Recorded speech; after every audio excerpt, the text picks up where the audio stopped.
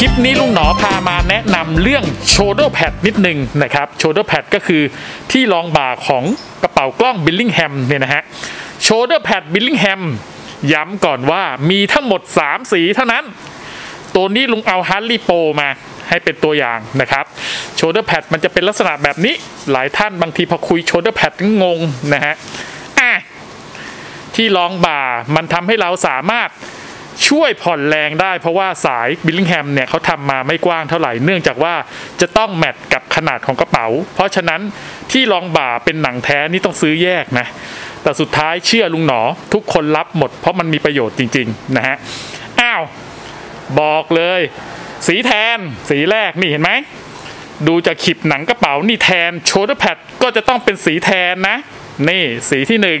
นะฮะสีที่สอง สีดำเอาใบเล็กๆมาเพราะว่าก็ได้ดูกันง่ายนะครับ อันนี้ small pro นะ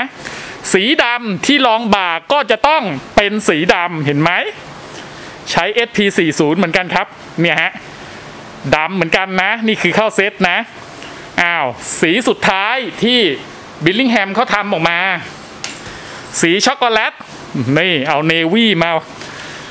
เป็นตัวอย่างแหมเนวี่อยู่ในกล้องสวยนะครับอ้าวช็อกโกแลตเห็นไหม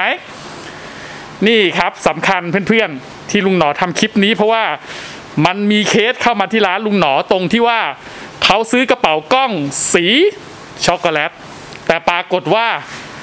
เอาโชเดอร์แพดเป็นสีแทนมาแทน ลุงก็สับสนกับลูกค้าเหมือนกัน แต่เขาก็บอกว่าเขาก็ไม่เข้าใจเหมือนกันเพราะว่าตอนไปซื้อในร้านค่อนข้างแสงน้อยเขาก็นึกว่าสีเดียวกันนะนี่สามสีนะที่รองบากอ้าวลุงเทียบให้ดูสามสีสามสี ก็คือแทนดำช็อกโกแลตตอนนี้มีจำหน่ายแล้วนะครับ วิธีการใช้ก็เป็นกระดุมสองข้างเปิดกั แล้วก็ล็อกเข้าไปได้เลยตามรูปนี้นะครับ เอาละครับ เข้าใจตรงกันแล้วนะ ไม่งั้นเดี๋ยวมีข้อมูลมาลุงหนอครับ ผมเคยเห็นสีนู้นสีนี้สีนั้นลุงบอกเลยบางคนบอก ผมไปเจอสีเขียวก็มีสีแดง อันนั้นไม่ใช่ของบิลลิงแฮมนะครับอ้าวมีโอกาสก็มาเลือกสี